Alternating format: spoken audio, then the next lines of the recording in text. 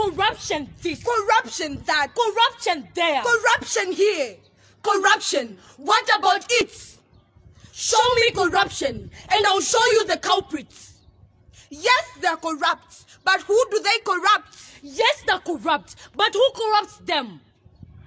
Well, corruption is not only practiced by the politicians and the businessmen. Ah, well. It is also the culture of almost every Zambian. In fact, on behalf of all the youths whom our elders claim to be the future leaders of our country, it's time to take a radical approach towards the transformation of all Zambians in order to deal with this pandemic called corruption. It is important for every Zambian to understand that we cannot take this country to the next level until we make a deliberate decision to destroy all the corrupt and anti-progressive practices in our various fields of work. we call upon each and every one of us to run an introspection about our daily lives.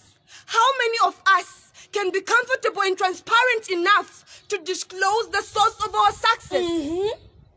How did you win that contract? How did you get that job? How did you acquire your driver's license? How did you get that promotion? How did you get those high grades at college? And how do you always find yourself at the front of every long queue? every successful corruption practitioner started their grooming from somewhere.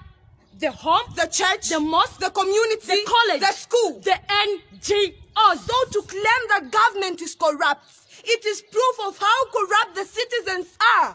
Yes, the leadership of the country is the reflection of the people. Meaning that if you want to know how corrupt a leadership is, just take a look at what the citizens are doing. Yes, take a look at yourself also. You, you, yes, you. You are probably contributing to the destruction of Mother Zambia. So beat it. Beat